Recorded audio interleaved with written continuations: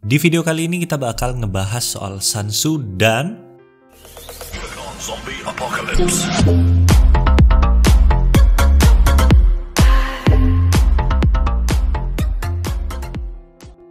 Halo semuanya, gimana kabar kalian? Semoga baik-baik aja ya. Hari ini, seperti yang aku bilang di depan tadi, kita bakal ngebahas soal Commander Sun Tzu. Atau Sun Tzu, sama aja sih. Pertama, kenapa aku milih Sun Tzu untuk dibahas? Karena Sun Tzu itu Commander epic yang kualitasnya seperti legendary. Kasih contoh. Aku udah main lumayan lama. Power sekarang udah 30 jutaan. Tapi kalau kalian lihat di wall, Sun Tzu masih kupakai sebagai commander garrison. Karena Sun Tzu itu deal damage-nya gede. Skill satunya itu area. Dan Sun Tzu punya skill yang ningkatin damage skill untuk primary atau secondary commander. Jadi kalau dinilai dari fungsi, dari damage, Sun Tzu ini berguna banget ya. Sekarang kita cek skillnya dulu. Skill pertama Sun Tzu itu deal damage area bentuknya seperti kipas sampai maksimal 5 target damage factor 800. Setelah itu dia deal additional damage sekitar 200. Yang kedua itu skill garrison. Sebenarnya di 2021 itu nggak ada yang spesial ya. Justru commander garrison lama kayak Sansu, Martel, Yulji Mundok eh, itu sebenarnya di nerf jadi di sini kalau kalian lihat skill 2-nya Sansu, Garrison Troops Damage Reduction itu 7%. Kalau dulu, Sun sebagai commander garrison, dia bisa ngejaga bendera, ngejaga obelisk di Ark of Osiris atau dia bisa ngejaga Central Fortress. Sayangnya di 2021, deskripsi skill 2-nya diganti menjadi while this commander is leading the garrison of your own city.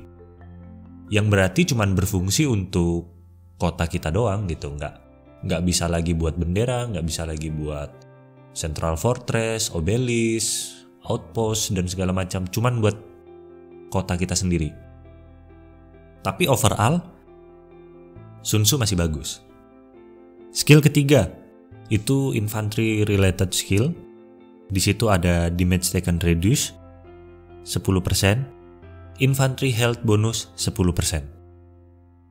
Skill keempatnya itu adalah skill yang paling penting setelah skill pertama, skill damage bonus 20%. Jadi Sun Tzu ini bagus banget untuk march yang deal skill damage gede, misalnya kayak dipasangin sama Yisongge atau dipasang sama Herman atau dipasang sama Osman juga bagus. Pokoknya yang skill-skillnya gede itu bakalan ditambah lagi 20% lebih banyak. Terus kita lanjut ke talent. Sun Tzu ini garrison, infantry, dan skill tipe commander. Kalau kalian lihat di sini aku ini personal buildku yang aku pakai. Di sini aku ngambil Rejuvenate 3 poin, Clarity 3 poin, Strong of Body 3 poin. Habis itu Elite Soldier aku ambil 2 poin. Sansuku ini udah level 60. Terus kita lihat yuk. Kalau buat player baru, gimana sih bikinnya gitu. Ini saran buat player baru. Kita jalanin ke Rejuvenate paling pertama, oke? Okay? Kasih 3 poin. Habis itu kalau udah ke Clarity 3 poin. Terus ke Undying Fury 3 poin. Dah. Kalau kalian bikin Sansu talentnya seperti ini, ini nggak bakalan bisa salah. Pasti berfungsi gitu loh. Dan sekarang, setelah dari sini, baru kita bahas ke full infantry, full skill, atau ke garrison. Oke, kita ke infant, uh, kita ke skill dulu deh. Kalau misalnya kalian bikin Sun Tzu full skill talent, kelemahannya itu satu, dia gampang mati. Karena dia lemah. Tapi kelebihannya, dia ngedil damage itu lebih sakit. Habis itu dia nembakin skillnya itu lebih cepat. Karena ragenya itu lebih gampang terisi ya. Buat yang nggak tahu, Commander itu butuh rage sekitar 1000 untuk ngeluarin skill. Jadi kita isi ke Feral Nature 5 poin. Iya, kasih 5 poin. Sisanya kalian ke Strong of Body kasih 3 poin. Setelah itu ambil Iron Spear kasih 3 poin. Lalu ke Latent Power 3 poin juga. Sisa 10 talentnya kalian bisa ambil March Speed kasih 2 poin. Habis itu ke Double Headed X. Setelah itu ambil sedikit ke defense. Satu lagi kalian kasih health. Nih kurang lebih kayak gini ya. Kalau misalnya kalian mau bikin Sun Tzu Skill Talent Tree. Sekarang kita reset kita ke Sun Tzu Infantry Talent Tree. Kita ke Elite Soldier, kasih 5 poin. 1, 2, 3, 4, 5. Ke Strong of Body, kasih 3 poin. Ke Rejuvenate, kasih 3 poin.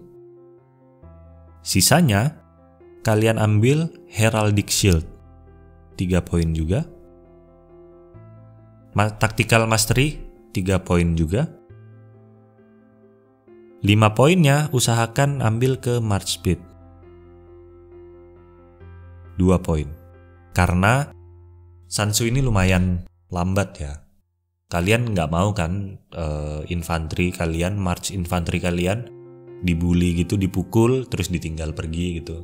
Terus kalian ngejar, lambatnya kayak bekicot gitu kan nggak enak ya kalian diketawain musuh lah. Kalau bisa makanya ambil uh, Mars Speed. Kelemahan build kayak gini itu skill damage-nya nggak segede yang build pertama. Tapi kalau kalian bawa war di open field build ini lebih tahan lebih kuat. Karena dia keras ya. Sekarang kita coba ke talent garrison atau untuk ngejagain city. Pertama, kita ambil adamantine walls. Di situ kasih 3 poin. Terus ambil nowhere to turn, itu 3 poin juga. Terus seperti tadi, Undying Fury 3 poin. Habis itu Rejuvenate 3 poin juga. Ini buat pemain baru. Kalau kalian mau bikin untuk ngejaga kota, bikin kayak gini dulu. Setelah itu, kalau udah level 60, pelan-pelan kalian buat ke impregnable.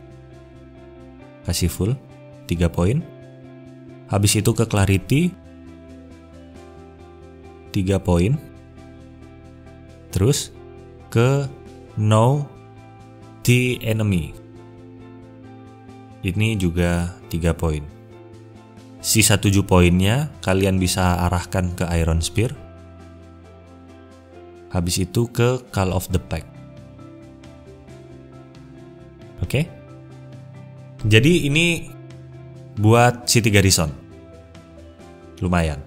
Tapi aku lebih suka Sun Tzu yang seimbang antara durabilitas sama skill damage. Jadi personal buildku yang kayak aku liatin di awal tadi, Rejuvenate 3, Clarity 3, Strong of Body 3 juga, Elite Shouldernya 2. Oke, jadi terserah kalian mau pilih personal buildku, mau pilih full skill talent tree, uh, infantry talent tree atau garisan talent tree.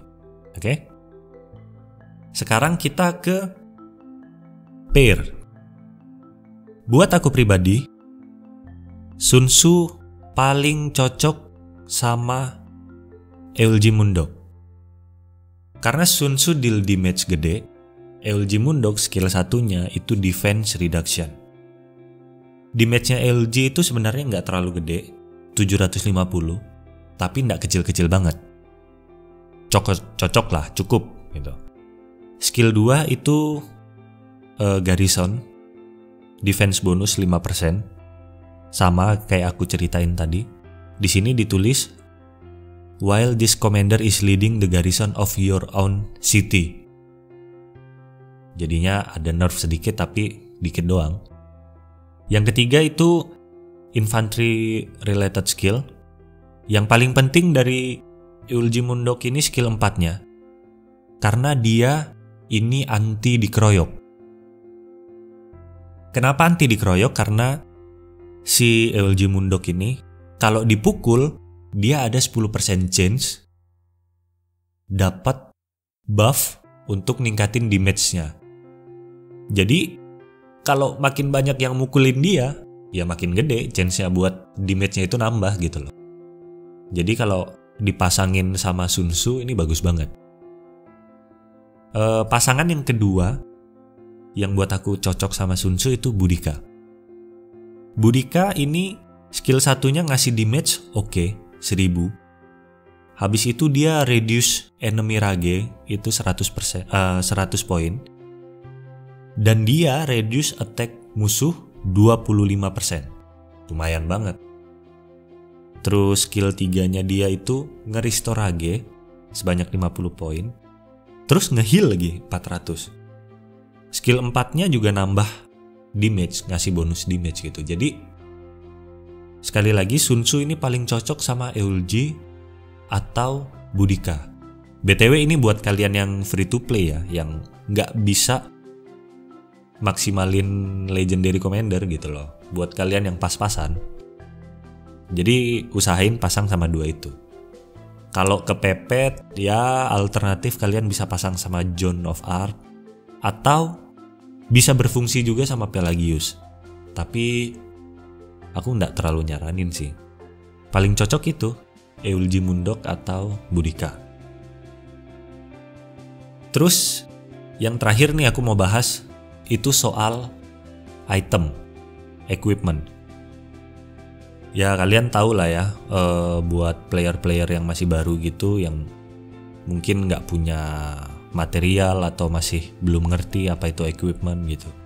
Intinya equipment itu item yang kalian bisa kasih di commander supaya statusnya itu nambah gitu.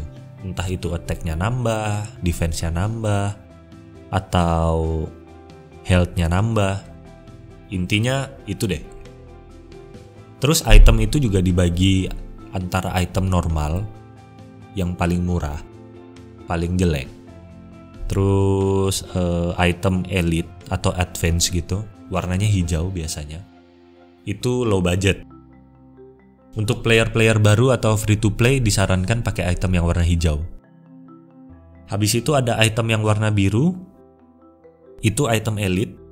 Uh, dia bagus sih.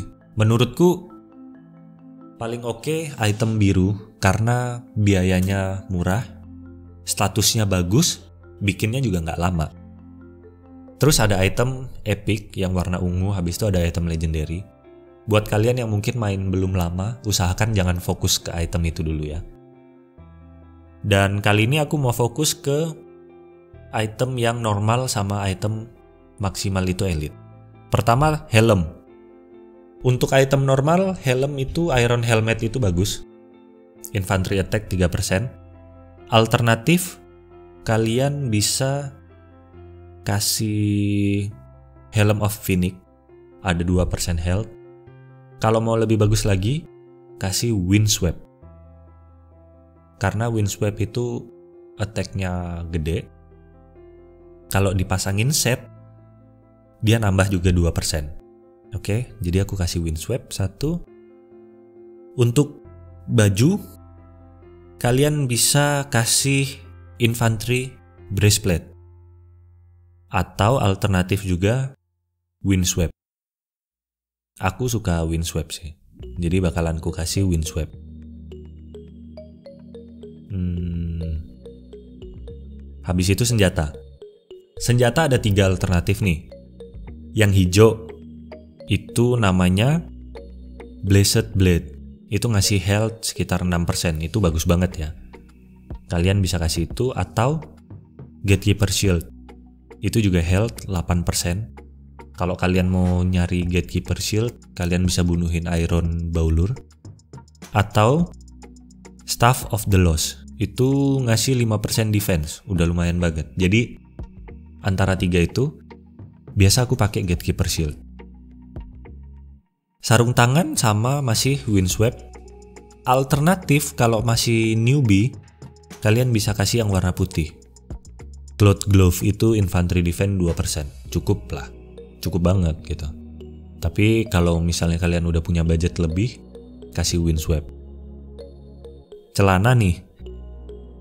Kalian bisa kasih Grave of the Exile sekitar 3% defense atau paling bagus dan paling murah Ranger, uh, Ranger Trousers itu ngasih infantry attack 4%.